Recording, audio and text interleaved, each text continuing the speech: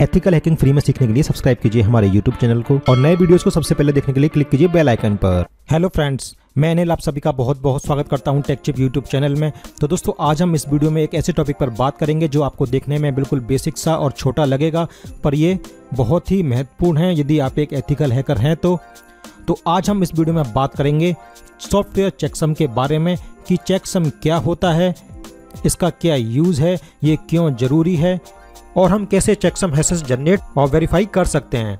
दोस्तों, आप इंटरनेट से सॉफ्टवेयर्स फाइल्स स्क्रिप्ट या टूल डाउनलोड करते हैं तो आपने कई बार नोटिस किया होगा कि एक लंबी सी टेक्स्ट स्ट्रिंग लिखी होती है, जिसमें कुछ नंबर्स और लेटर्स होते हैं। तो दोस्तों, बस इसी स्ट्रिंग को बोलते हैं चेकसम हैसेस ये उस फ़ाइल सॉफ्टवेयर टूल या स्क्रिप्ट के फिंगरप्रिंट हैं, जो एकदम यूनिक होते हैं, जैसे हमारे फिंगरप्रिंट एक दूसरे से मैच नहीं करते। ठीक उसी प्रकार फ़ाइल के भी यूनिक चेकसम हैसेस होते हैं। जो एक दूसरे से बिल्कुल अलग होते हैं। यदि यदि फ़ाइल के अंदर थोड़ा सा भी बदलाव किया गया है तो चेकसम हैसेस भी चेंज हो जाते हैं। कई बार चेकसम कुछ एरर की वजह से भी चेंज हो जाता है। जैसे मान लीजिए, आप कोई फ़ाइल नेट से डाउनलोड कर रहे हैं और नेटवर्क प्रॉब्लम के चलते फ़ाइल सही ट्रांसफ़र नहीं हो पाई या किसी कारणवश फ़ाइल करप्ट हो गई तो ओरिजिनल फ़ाइल का भी चेकसम चेंज हो जाएगा। आपने चेकसम का एरर कई बार जिप फ़ाइल में भी देखा होगा। वैसे इसका प्रयोग सॉफ्टवेयर और फ़ाइल में एरर डिटेक्शन के लिए भी किया जाता है। चेकसम हैसेस जिसकी मदद से असली और नकली फ़ाइल सॉफ्टवेयर टूल और स्क्रिप्ट की पहचान की जा सकती है। चेकसम हैसेस भी कई तरह के होते हैं, जैसे कि M D five S H A one S H A two five six S H A five one two तो जब कोई अपना सॉफ्टवेयर, फ़ाइल, टूल या स्क्रिप्ट इंटरनेट पर डालता है तो वो उसके चेकसम स्ट्रिंग भी शेयर करता है। आपने कई बार देखा भी होगा। तो इसकी ज़रूरत क्यों पड़ती है? तो दोस्तों, जैसा कि मैंने आपको अपने एक वीडियो में बताया था कि हैकर सॉफ्टवेयर के साथ कोई बैकडोर मालवेयर अटैच करके लोगों के सिस्टम को हैक कर लेते हैं तो ऐसी कंडीशन में ये चेकसम बड़े काम की चीज़ है। जैसे मान लीजिए दोस्तों, ये पट्टी सॉफ्टवेयर है, किसी हैकर ने आपको इसमें वायरस अटैच करके सेंड किया तो आप रन करने से पहले उसका चेकसम वेरीफाई करके ये पता लगा सकते हैं कि ये सॉफ्टवेयर ओरिजिनल है या नहीं, या इसके साथ कोई छेड़छाड़ तो नहीं की गई। ये देखिए, मैं आपको दिखाता हूँ। ये पटी सॉफ्टवेयर का डाउनलोड पेज है और सबसे लास्ट में आप आएँगे तो यहाँ पर आपको चारों तरह के चेकसम के हैसेस देखने को मिल जाएँगे। तो आप जो भी यहाँ से चेक करना चाहते हैं, आप इस पर क्लिक करेंगे तो इनके जितनी भी सॉफ्टवेयर फ़ाइल टूल्स हैं, यहाँ पर सबके चेकसम हैसेस मिल जाएँगे। तो आप इसको यहाँ से वेरीफाई करा सकते हैं, जिनकी मदद से आप असली और नकली सॉफ्टवेयर की पहचान कर सकते हैं। ज़्यादातर साइट्स अपने सॉफ्टवेयर और फाइल्स और टूल्स के चेकसम हैसेस प्रोवाइड कराती हैं तो इन चेकसम हैजर्स को वेरीफाई करके आप अपने सिस्टम को हैक होने से बचा सकते हैं। दोनों ही सॉफ्टवेयर काम तो सेम ही करेंगे, पर जिसमें बैकडोर छुपा हुआ है, वो आपके सिस्टम को नुकसान पहुँचा सकता है। यदि सॉफ्टवेयर फ़ाइल या टूल में थोड़ा सा भी बदलाव किया गया है तो उसके चेकसम हैसेस भी चेंज हो जाएँगे। तो ये कंपनीज़ भी अपने सॉफ्टवेयर अपडेट होने के बाद चेकसम को भी अपडेट करती हैं। आपने कई बार देखा होगा कि आप जब कोई फ़ाइल या वायरस को तो वायरस टोटल पर अपलोड करते हैं चेक करने के लिए तो वो एक मैसेज देता है कि ये फ़ाइल पहले से ही स्कैन की जा चुकी है। आप पुराना एनालिसिस रिज़ल्ट देखना चाहते हैं या फिर आप इसको वापस से स्कैन करना चाहते हैं। तो ये साइट फ़ाइल के चेकसम हैसेस से ही उनकी पहचान करती है। अब भले ही इन फ़ाइल का नाम कोई दूसरा हो, मैं आपको दिखाता हूँ। मैं यहाँ पर एक फ़ाइल अपलोड करता हूँ। यहाँ पर मैंने ये पटी सॉफ्टवेयर वाली फ़ाइल अपलोड की और हम इसको ही स्कैन करके देखते हैं। और ये देखिए, आप देख सकते हैं, यहाँ पर इन्होंने S H A two five six checksum के हैसेस दिखा रखे हैं। यहाँ से आप देख सकते हैं कि इस फ़ाइल को पिछली बार कब एनालिसिस किया गया था।